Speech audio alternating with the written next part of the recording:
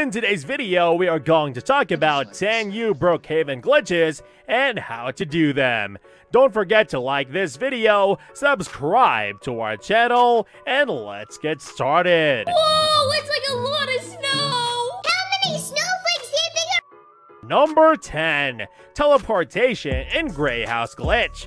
This glitch is quite simple, but at the same time is also very mind-boggling. The way it works is to select a gray mansion in the top 10 houses in Brookhaven. Once selected, when inside the house, try to rest on the white sofa, one on the left, and you'll somehow find yourself inside the bed. In the main bedroom resting, nothing too harmful, but it's a very funny glitch overall. And now, I can actually get him into the house too. Who's signing off? Girls, girls! Number 9. Funny Jumping Glitch. This one's a bit of a goofy glitch, and it's just funny in general, and doesn't do much. It's quite hard to pull off, but once done, it stays until you leave the game. To do the glitch, simply jump in front of the television on the carpet while spamming the E button.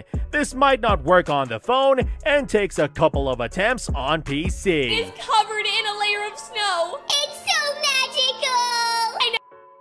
Number 8. Couch Teleportation. Similar to the first glitch we showed, this one's basically going to get you from the living room couch to resting inside your bed. Ideally, this would definitely work in the Grey Mansion's couch, but could work in any couch really. Again, jumping and spamming E on the couch, after doing it a couple of times, you'll somehow teleport to resting inside the bed in the main bedroom.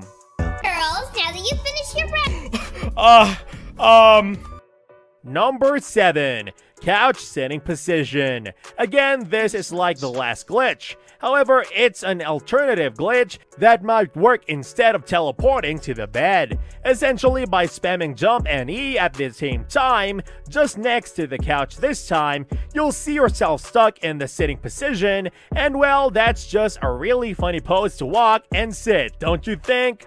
Plumsy right here. Then, uh, make sure to like and, uh, comment something funny. Number 6. Glitching into the house. This glitch is a weird one, and to this day, we don't know how it's still in Brookhaven. To do this glitch, simply make sure to have the laydown emote somewhere easy to access. Then go to the garage door or front door of the house and use the laydown emote on the door. Then jump once, and you should be able to face through just like that. Something, but now my alt is inside. What if I get smaller? Oh, Number 5. This is very similar to the last glitch and basically involves using a different emote instead.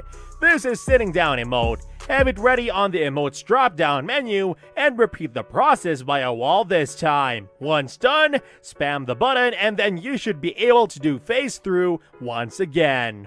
where can I go with this car? It can't go really anywhere. But you know what we can do, guys?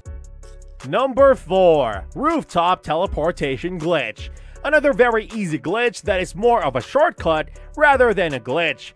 Well, it basically goes to any random shop that has a box on the floor and a banner on the top. Simply spam the jump button on the box, and then the banner, and finally on the rooftop. The invisible barrier won't let you at first, but after a couple of attempts, you should be able to do it. Well, let's just make our smooth escape out of the house. There we go.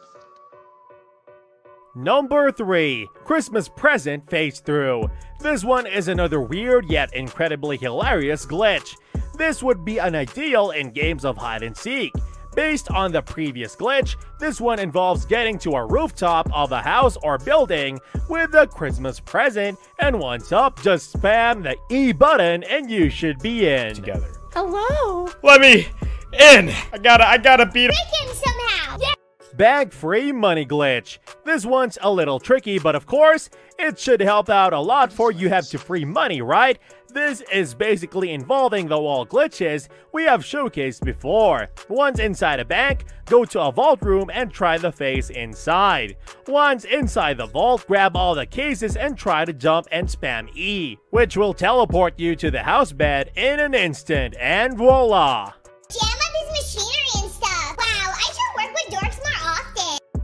Number 1. No Glitches Glitch. This is the last and best of all glitches so far. Since you know how these glitches work, you can now for sure expect others to also use these glitches, right?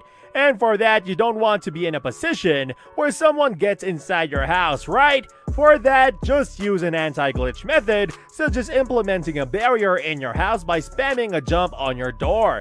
Then you should be safe from any outsiders just as easily as that. Actually, you know what? It might work. It might work. We might just be able to make it work. Okay. So guys, this was all about today's video. Share as much as you can, that simply motivates us to create more content for you guys. With this, we end our video. Hope you liked the video. Do hit the like button down there, comment down your views, and do share with more of your friends. See ya, and take care.